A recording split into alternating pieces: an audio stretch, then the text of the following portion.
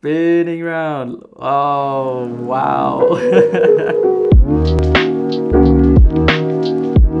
Friends of mine have told me, Howard, for someone who animates for a living, you don't watch many animations. You don't binge a lot of anime series. You don't go to watch the latest DreamWorks, Pixar, Disney sequel.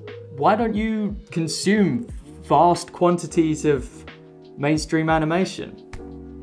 Firstly, that takes a lot of time, and I spend more time consuming reference. Reference and inspiration I separate into two different categories typically. And reference, I usually look at real life things that might be documentaries, it might be just video footage that I think will inform my, my animation that I'm working on but also with inspiration, I find an obscure little animated segment from like an animator no one has heard of can be enough to fuel me for a long time, for months, for inspiration, as something to like really get the fire in me going. This is a good example of one of those inspiring tiny pieces of animation. This is like a short film that's like a minute long by Mehdi Alibeygi, a name you've probably never heard of. I had never heard of him. I feel like this guy, he's animating on a different dimension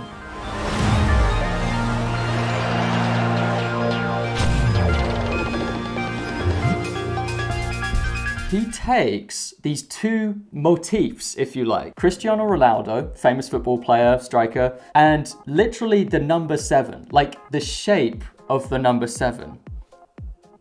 And it's amazing what he's able to come up with with those two things. I've got a scene from this short piece of animation loaded into TV Paint. I'm gonna draw on top of it. Let's just see what we discover by combing through frame by frame because this is a very intricate and very well-polished piece of animation. By well-polished, I don't mean that it's highly rendered, I mean that it's simplified and just perfected. Delicious piece of animation. It's really, really nice. So we start with these abstract shapes. Let's just comb our way through it. Let's go through very simple grayscale color palette. Two elements at play. We've got the light and the dark.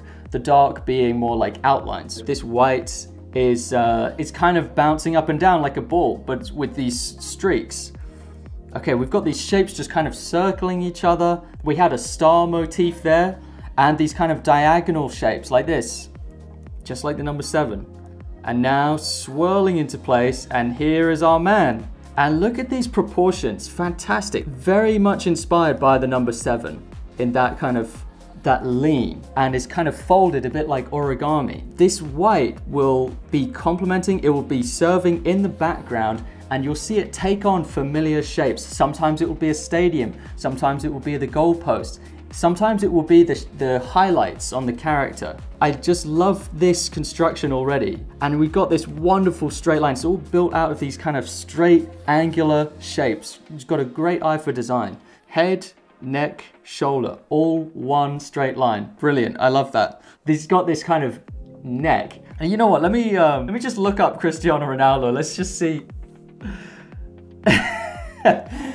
okay, yeah, yeah. Like he does have this kind of shape to him where he, as an athlete, you know, athletes have these quite thick necks compared to the, the size of their head. He's got a very shaved sides of his head. So he does have that line that goes from the neck all the way up to the corner of the head. So he's captured it very well. Let's keep going through. Okay, let's see, let's see what these white lines are doing. They've now taken on the stripes of the pitch. Look at these smears. So not your conventional motion blurs. He's not doing my thing of like, you know, just these these kind of striation lines. No, he's he's actually smearing them so that the shape is changed. When he goes when the leg moves fast, the shape will actually expand just like a smear. Okay, so he's paying close attention to the reference here I'm sure he's got reference for these things. Oh, look at that. Look at these shapes. This one's now independent. A bit like what I uh, showed you with the Golvo animation, he's taking these liberties and I love where these liberties work their way into these figures. Oh yeah. Nice double round the world. Just keeping it up. Ah, it's brilliant. You look at that easing. Really nice, easing on. Little lines extend from the stumps of the feet. You see, attention to detail here. picks the foot up, and we can see that he's picked the foot up. We've got a very flat backdrop here. The shadow is a really nice indication. It's showing us that he's not sweeping his, he's not moving his foot in, he's picking it up. And we can see that from the shadow. When he leans back, we've got this lovely geometric shape here, creating a cast shadow. That's just held there for number of frames. He just holds it there. Yeah, moving it. Oh, look at that. Popping the shoulder out, lovely straight angular line. And look at that, from the armpit down to the knee. Look at that proportion as well. That's the lower leg. It's just ingenious. This guy is on a different dimension to us. He's just playing by his own rules. Okay, so pops it up onto the back, but is it the back or is it the front? You see? Oh, he's just playing. He's playing with us, man. It's the chest again. He just he just changes it to be the chest. So beautiful. He's got it held there. Okay, so we get the idea by now. We don't need a repetition in there. It's time for him to do something new. So he takes it back to this refresh thing. I talked about this idea with the Golvo animation. Abstract settings, the idea of a refresh. He's still, what do we do now? We can do whatever we want. Let's just break down.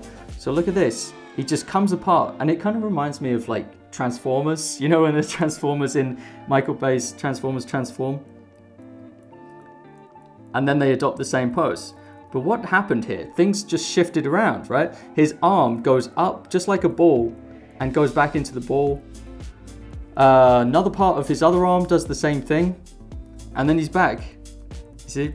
Wham, like that. Now, if we play that, let me just play that at full speed so you can see it. It's just a little shimmer, it's a little shake, a little abstract dance. It's going up. Lovely little demonstration, look at that.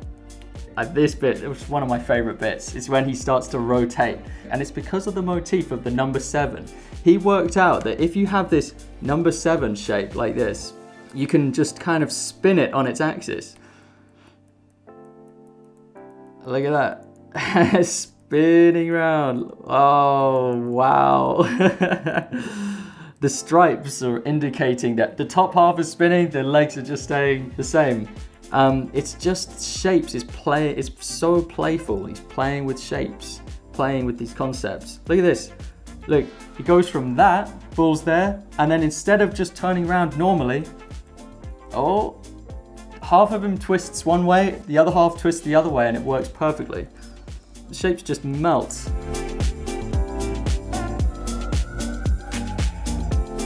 Oh, look at that. So we've now got the white lines as kind of background taking the place of the environment. So we see the goal and we get this lovely little camera movement here. A lot of the depth and the camera shift is indicated with the neck and the shoulders.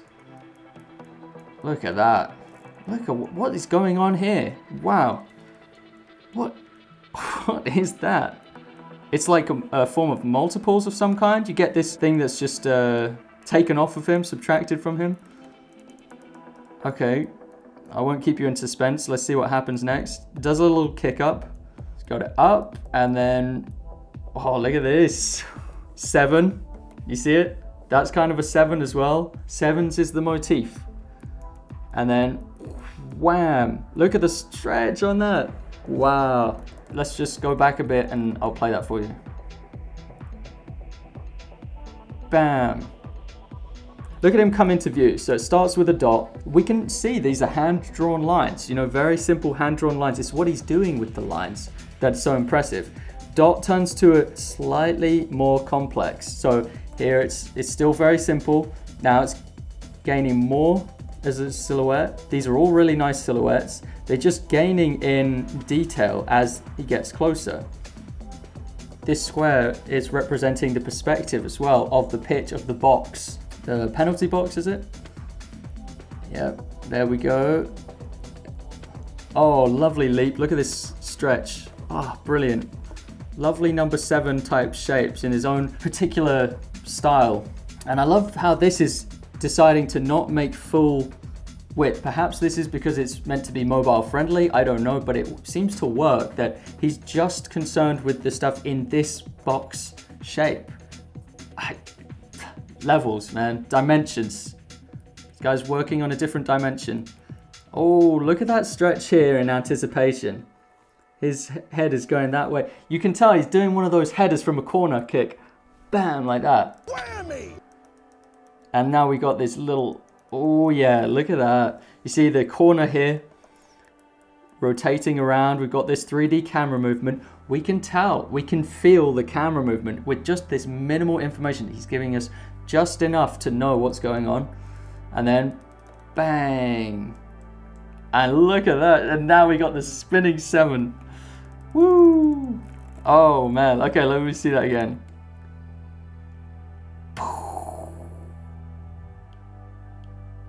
What a dynamic header. Look at this shape here. Great shapes. It's so confident with the shapes. Everything is conforming to this shape language. It's so dang pleasing. That is one of my favorite run cycles of all time. I I don't know, I struggle to think of one that's that original and that's that's that's smart. It's just so clever.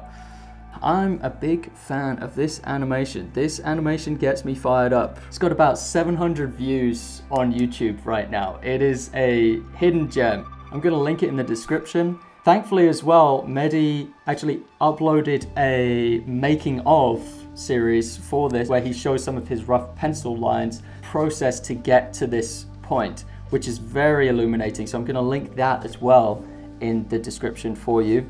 And it's time for my plug. If you want to make animations of your own, Mastering Motion is an advanced online animation course designed to train you in techniques that go far beyond the principles of 2D animation.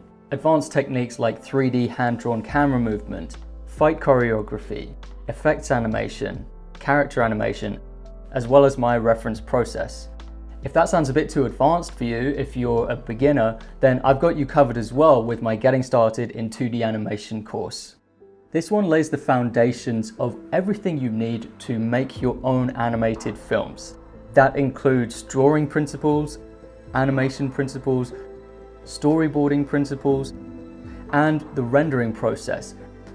And this is all in one place. You no need to hunt down obscure videos in distant corners of the internet we build you up with animation exercises that grow in complexity as you learn more. It's a course that will help you to develop the ability to fully realize on the screen whatever crazy ideas are going on in your head.